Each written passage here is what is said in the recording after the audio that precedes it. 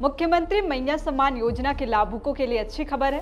दरअसल मुख्यमंत्री हेमंत सोरेन झारखंड की महिलाओं को रक्षाबंधन पर तोहफा देने वाले हैं। मुख्यमंत्री हेमंत सोरेन चाहते हैं कि रक्षाबंधन के दिन झारखंड मुख्यमंत्री मैया सम्मान योजना के तहत उपहार स्वरूप महिलाओं के अकाउंट में एक हज़ार रुपया भेजा जाए। उन्नीस अगस्त को मुख्यमंत्री सांकेतिक रूप से एक सौ इक्यावन महिलाओं के अकाउंट में डीबीटी के माध्यम से एक हज़ार रुपया भेजेंगे। इसके साथ ही झारखंड की इस योजना की विधिवत शुरुआत हो जाएगी। जिन महिलाओं द्वारा भरे गए अकाउंट में कोई त्रुटि नहीं पाई जाएगी। उनके खाते में एक हज़ार रुपए जाने शुरू हो जाएँगे और हर महीने की पंद्रह तारीख को राशि खाते में चली जाएगी।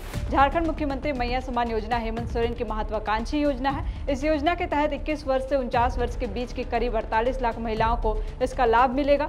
शुरुआती दिक्कत के बाद इस योजना में पंजीयन ने रफ्तार पकड़ ली है। सोमवार तक उनतीस लाख आवेदन आ चुके हैं। इस योजना को लेकर मिल रहे उत्साह से मुख्यमंत्री काफ़ी खुश नज़र आ रहे हैं। सोमवार को उन्होंने योजना के पंजीयन की रफ्तार को लेकर पोस्ट किया है। कि पंचायत से लेकर जिलों, विभागों और मंत्रालय के सभी कर्मियों को साधुवाद दिया है। मुख्यमंत्री हेमंत सोरेन ने एक्स पर पोस्ट करके जानकारी दी है कि सोमवार शाम सात बजे तक करीब उनतीस लाख बहनों का सफलतापूर्वक निबंधन हो चुका है। मध्य रात्रि तक यह आंकड़ा तीस लाख पार कर जाने की उम्मीद है। सीएम ने कहा कि पंचायत से लेकर जिलों, विभागों और मंत्रालय के सभी कर्मियों को साधुवाद, जिनकी मेहनत से यह लक्ष्य हासिल हो पाया है। इस माह के अंत से पहले सभी बहनों के खातों में सम्मान राशि की पहली किस्त भेज दी जाएगी।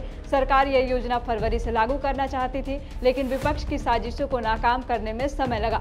आपको बताते चले कि मुख्यमंत्री मैया सम्मान योजना ने प्रक्रिया सरल होने के बाद रफ्तार पकड़ ली है। शिविरों में महिलाओं का हुजूम पहुँच रहा है। अब तक उनतीस लाख से अधिक महिलाओं का फॉर्म भरा जा चुका है। हेमंत सरकार का लक्ष्य है कि वह इस योजना को अड़तालीस लाख महिलाओं तक पहुँचा सके।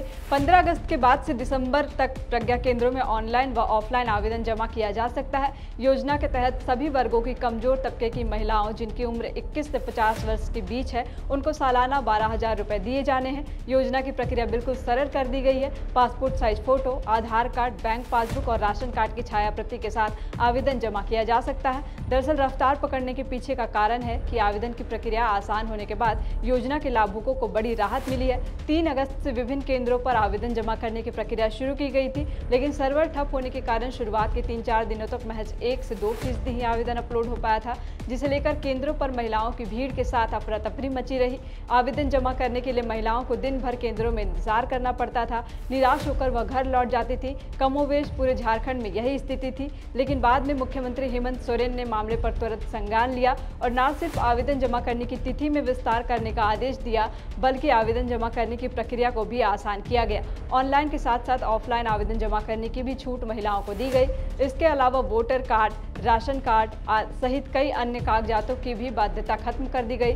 सिर्फ़ आधार कार्ड व अन्य एक दो कागजात की अनिवार्यता रखी गई, जिसका सुखद परिणाम सामने आया और तेज गति से आवेदन जमा होने लगा।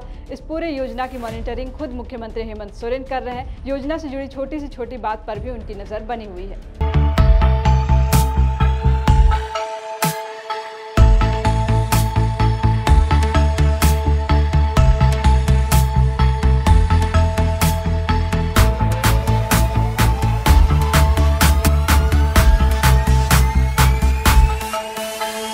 बायोम मेडिकल प्रिपरेशन का एकमात्र संस्थान जहाँ है complete digital classrooms, individual doubt counters video lectures student tracking system library facility 100% result oriented rankers batch study package and class notes in PDF The followup.in.